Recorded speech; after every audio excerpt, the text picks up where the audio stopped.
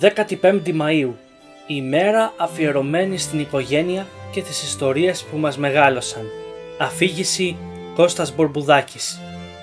Η σημερινή ημέρα έχει καθιερωθεί από τον OAT ως η Παγκόσμια ημέρα της οικογένειας για να δοθεί έτσι η έμφαση στη σημαντικότητα που έχει ο θεσμός της οικογένειας για την κοινωνία από παλαιοτάτων χρόνων.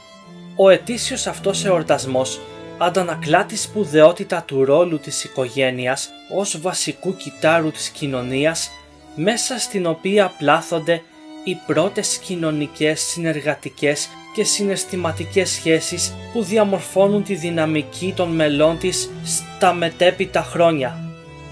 Μία μέρα σαν κι αυτή εμείς αναπολούμε ωραίες οικογενειακές στιγμές και φέρνουμε στη μνήμη μας όμορφες εικόνες και αναγνώσματα που μοιράζονται οι παππούδες με τους νεότερους, η μητέρα με τα μωρά της, δίνοντας έτσι τη σκητάλη της φαντασίας στη νέα γενιά.